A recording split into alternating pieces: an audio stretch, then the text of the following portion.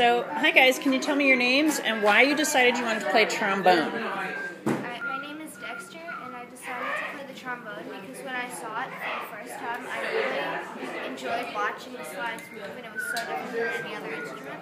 Are you glad you chose it? Yes.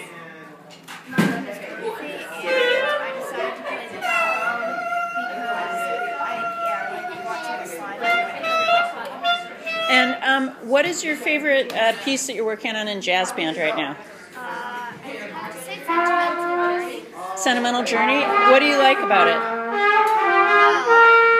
There's one part a plunger mute to make like a sort of like wah sort of sound. I don't have it with me.